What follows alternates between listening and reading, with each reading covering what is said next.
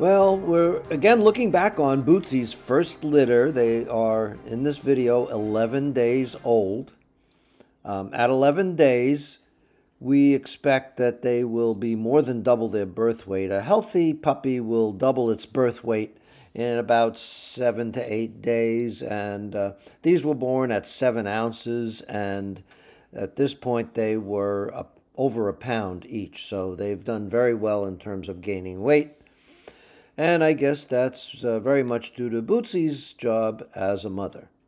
Now, um, by the way, when you see my mouth move, it's going to look like a very badly dubbed foreign movie because I'm putting a new audio track on an old video that I did in 2020.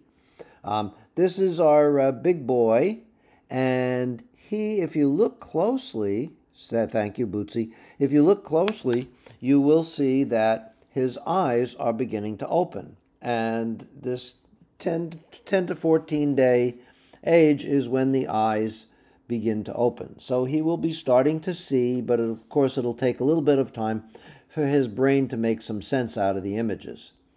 Uh, but uh, he's doing very well in that regard. If you take a look at his ear, you'll notice that the ear canal is still closed, which means he still can't hear. But that would be opening in the next few days uh, after this video was taken.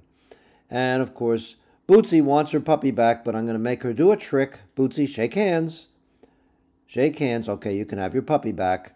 That's a good mom.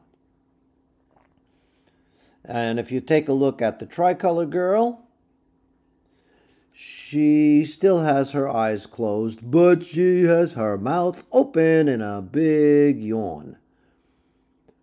And the little black and tan girl, also has not yet opened her eyes, um, but I think she also is capable of opening her mouth in a yawn. Come on, let's go, you, let's go, little girl. Yeah, it's a little bit of a yawn. Okay, not too bad, but she's very sweet. So at this point, they were all doing very well, and uh, Bootsie's taking excellent care of them, and we will come back and revisit this litter again soon. Bye.